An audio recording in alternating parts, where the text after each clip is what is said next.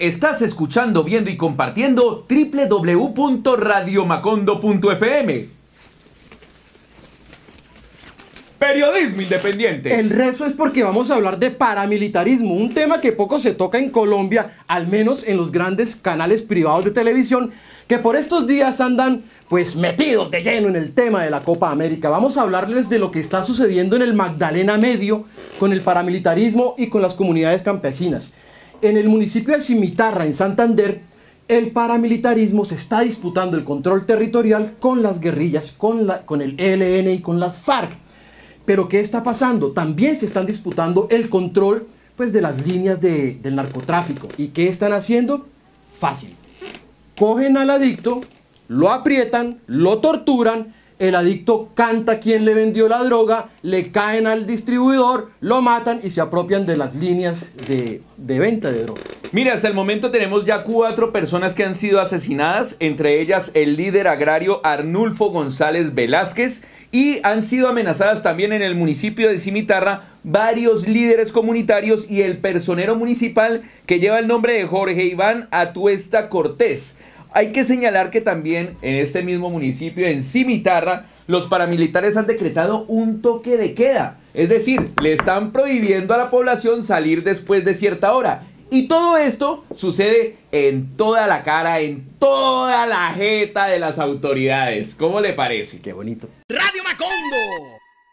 En el marco de la minga agraria, campesina, étnica y popular, pues los paramilitares están amenazando a los líderes de la minga, a los líderes de los líderes campesinos que están adelantando la protesta social en Colombia, pero también están amenazando a los líderes ambientalistas.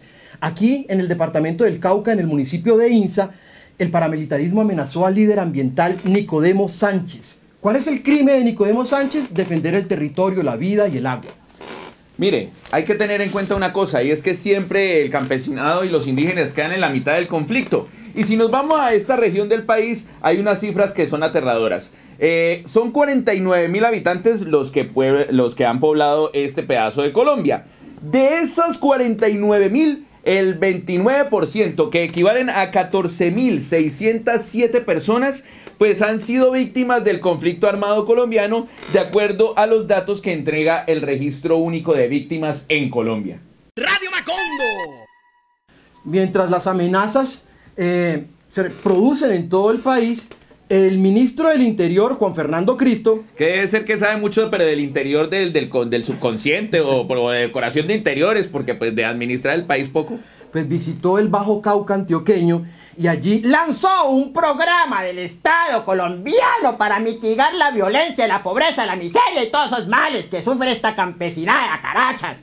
El programa se llama Paz en Acción y va a atender a 39 municipios los que han sido más azotados por la violencia en Colombia, 39 quedan chiquitos. No, y hay que abonarles que para pa bautizar planes de Estado sí la tienen clara, porque los nombres suenan súper bonito. Pero vea, hay que recordar que el pasado 30 de mayo, en el marco de la minga que se está realizando en el país eh, apoyando el paro campesino, pues los paramilitares hicieron lo que mejor saben hacer, amenazar al movimiento social Ríos Vivos del norte de Antioquia y por ahí derecho han amenazado a los líderes campesinos, a los líderes indígenas y a todos aquellos movimientos sociales que están manifestando su inconformidad ante el permanente incumplimiento del gobierno frente a los acuerdos que se logran con los campesinos de nuestro país, con los transportadores, con los maestros, etcétera, etcétera, etcétera, porque a todo el mundo le incumplen. Finalmente queremos invitar al pueblo colombiano para que siga apoyando la minga campesina, étnica y popular